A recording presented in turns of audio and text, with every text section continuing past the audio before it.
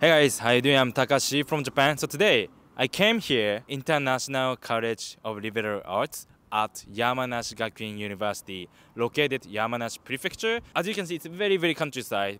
So I was wondering, what's it like studying abroad in Japanese countryside? Okay, let's get started. International College of Liberal Arts, or ICLA, is a four-year liberal arts college in Yamanashi Prefecture, Japan. ICLA offers majors in global business and economics, political science, psychology, interdisciplinary arts, and Japan studies. The main language of instruction is English, and the community is very diverse, with students coming from over 50 different countries. You don't need knowledge of Japanese to enroll. International students can study Japanese from beginner level and work their way up to advanced level. Yamanashi Prefecture is known for its nature and mountains as well as being the home of Mount Fuji, but Kofu is only 19 minutes by train to central Tokyo. ICLA offers a unique opportunity to live in and experience Japan while studying a globally relevant degree in English. Thank you for your time. Where from?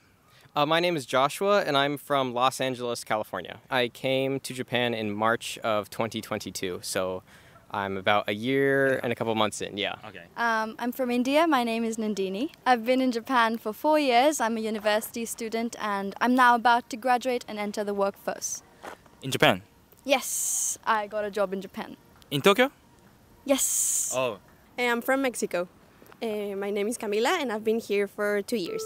I'm, I'm from Yamanashi, yeah, Japan. So I will graduate next year. So you're basically local? Yeah, very local. Hello everyone, my name is Panikarn. Yes, I'm from Thailand. I already live in Japan for one year. One year. I'm gonna ask you directly, like, what's it like studying abroad in Japanese countryside? Uh, especially, I feel like you don't get experiences like you would get in Tokyo. Like, for example, talking to older people mm. who are actually very like excited to talk to foreigners. I think that's something that you, you only get in the countryside and that's something that I really love. Last weekend I accompanied a friend to buy a yukata in a secondhand store and an old lady approached us to tell us that we were actually looking for a woman kimono and he was trying to get a man one.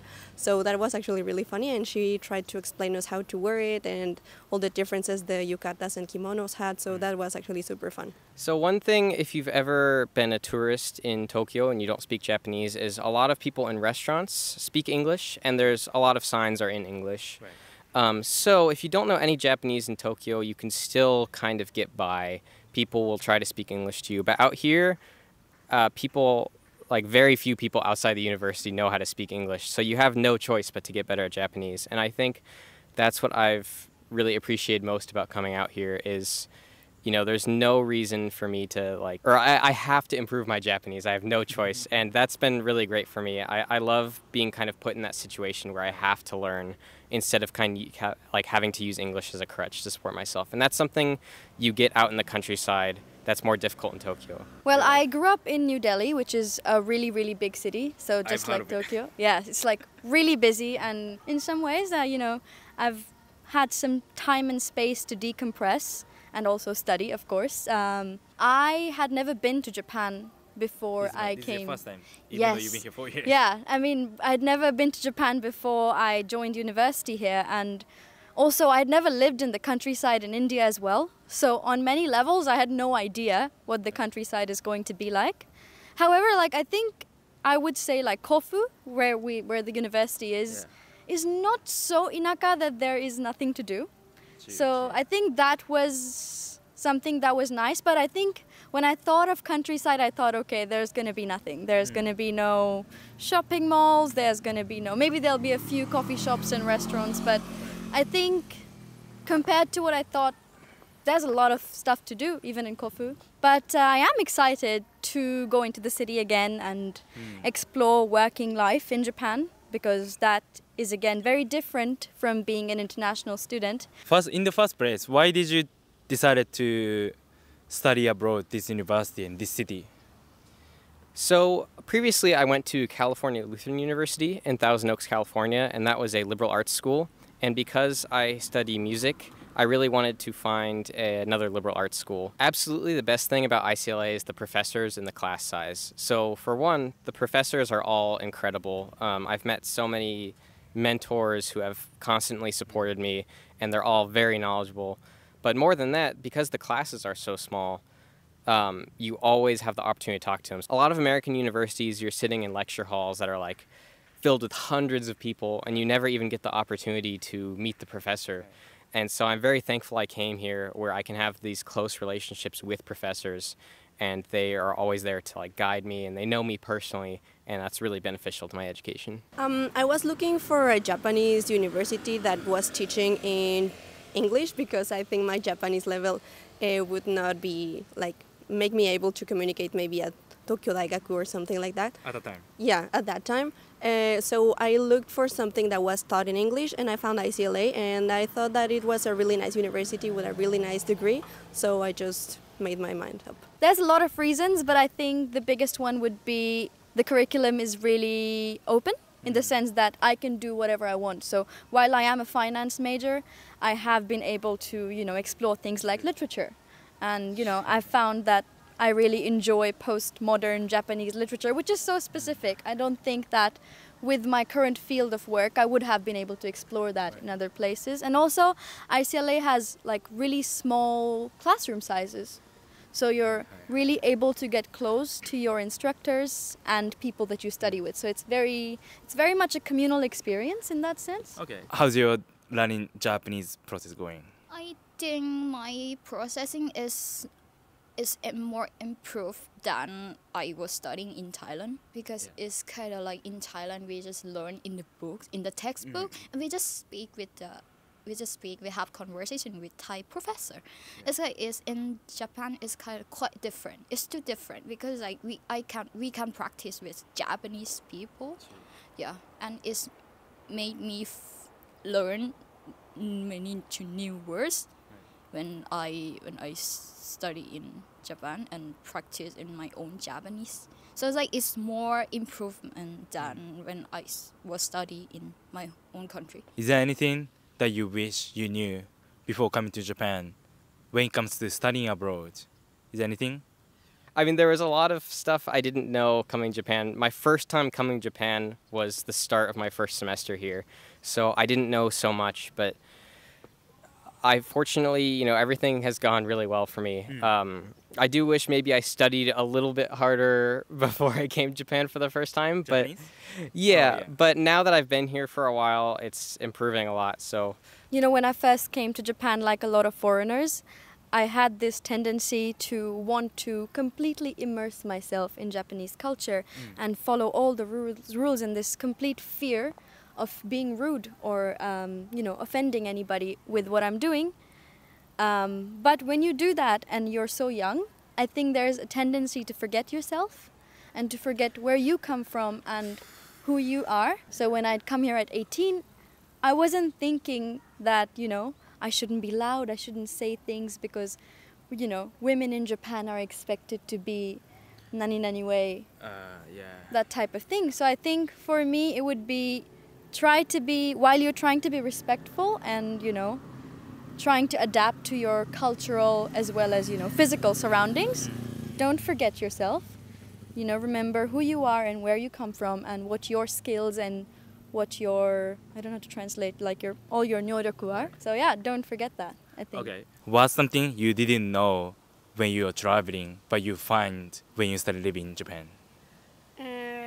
Yeah, I feel maybe like Japanese people when I came here just for travel weren't as talkative to foreign people as I've found them to be like right now.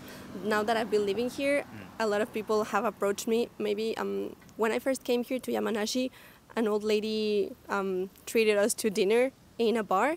Oh. So that was really fun, and that was something that never occurred to me when I was here with my family. So I feel like I wish I knew that Japanese people were like a lot more friendlier than I thought, especially in the countryside. I feel like they're even more flen- friendly in the countryside. What did you specifically study Right. in this university? Mm, so I am a, I guess the official title for my major is I'm a global business and economics major.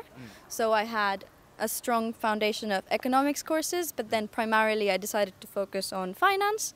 And uh, so finance, marketing, management. Like I said, I had a, the opportunity to take courses from all our majors, which was really fun for me.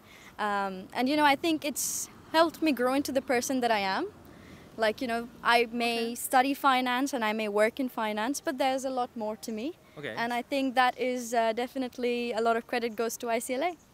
You mentioned you grew up as a person. What did you learn from this experience? What did you learn from What did you learn from these four years in Japanese countryside? Wow. What did you learn?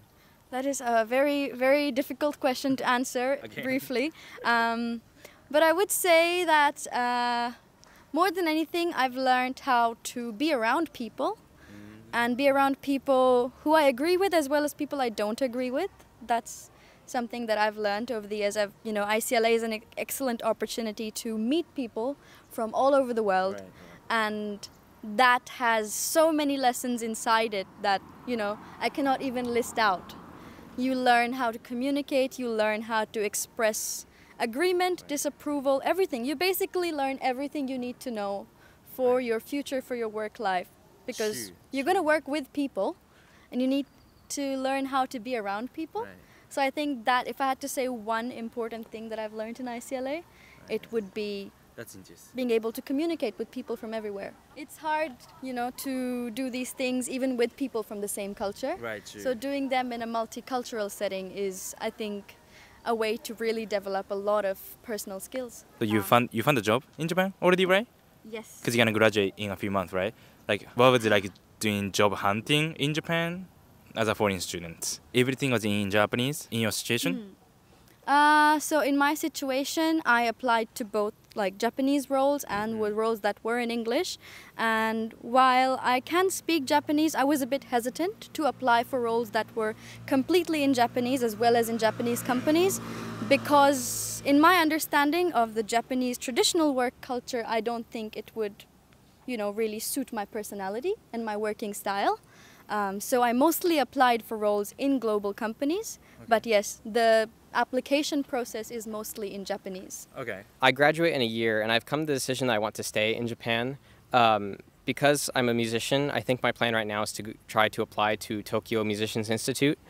Um, as much as I love the countryside, if I want to do music, I think I'm going to have to end up moving to the big city. Um, but if that doesn't work out, I'd still like to stay here and just try and job hunt. I'm currently working on taking the um, N2 Nihongo Noryoku Shiken. Um, and so if I can pass that, hopefully my chances of job hunting will improve a little bit. But overall, my goal is to stay here. Um, I do miss California sometimes, but I'm really enjoying life in Japan, and I've put in so much time into studying Japanese and learning about the culture, and I've fallen in love with especially music here. And so I'd really like to stay here and become a musician here. Japanese students in ICLA, would you say most of them are interested in foreign countries or foreign culture, or they try to make foreign friends or stuff like that? Do you think like it's is is is a thing in this university? Um, yeah, probably because um, so ninety percent of the courses Yeah. in ICLA are done in English, are yeah taught in English. Then, yeah, for Japanese people who who've taken uh, classes in Japanese for like approximately yeah twelve years, it's tough to take whole courses in English. People um, came to ICLA very interested in the foreign languages or Englishes or who ha- who wants to develop their English skills. Last question: Do you speak Japanese? あ少しだけ、えっと、今、えっとえっと、田舎の人は、まあ、あまり英語を話す話せないので、えっとまあ、いつも、とまあ、日本語を使いますね。やっぱり山梨は田舎ですから、日本語を話せないといけないので、So you can you can really force yourself to learn here. 国際なあのところだからすごいあの面白いだと思いますしあの人も優しいしあの教師もすごい頭がいいだから あの大好きです。大好きです。はいローカルの視点、山梨県出身のローカルの視点からこの ICLA は役割を果たしていると思いますか？一番大きいのは本当に国際化のこう進める場所のこう中心になろうとしているっていう感じですかね。もともとその山梨すごいやっぱり割と他の他県に比べるとより閉鎖的に近いのかなっていうのがあって、でその中でやっぱりこういろんな外国人を呼び込んでそのことからさらにそのなんでしょう地域活性化だったりとかとしてこうすごい活躍するんじゃないかなみたいな。山梨県、日本の中で見たときにどういう立ち位置になりますか？でも山梨来てみるとすごいもうなんだろう大自然に囲まれててっていう結構リフレッシュしながらこうなんか東京にも近いしっていう感じです。東京で働いてる日本人とかあの東京で観光した外国人とかが山梨に来てリフレッシュする一つの流れとしてあるんですね。はい。でえっと、特にその僕が訪日外国人が結構バスに乗っていたりとか。自分自身山梨を将来的に出る予定はありますか？仕事の機会とかを求めて東京に行ったりとかっていう可能性はありますか？東京に行くとかっていうよりかはよりなんだろうその ICLA で培ったそういう英語力でやっぱり海外にしゆくゆくはこう行ければいいなっていうふうに思ってますね。So if you are interested in interested in Japanese na nature and as like Fujisan, Fuji, Mount Fuji and Japanese pop culture, please come to Japan. And also, if you experience the great nature of Yamanashi, please come. Thank you so much Thank you. ありがとうございます。はい、ありがとうございます。ありがとうございます。ありがとうございました。ありした。Thank you so much. ありがとうございます。ありがとうございます。ありがとうございます。Okay, thank you for watching so far. How was it? That was interesting. I hope this video will help you coming to Japan as an international student. And if you like this video and if you like this university, check in the description. I put all the link that you can check about this university ICLA. Okay, anyway, thank you for watching. If you like this video, click like button. Please subscribe to my channel. If there's any question you want me to ask people in Japan, please leave a comment too. See you next time.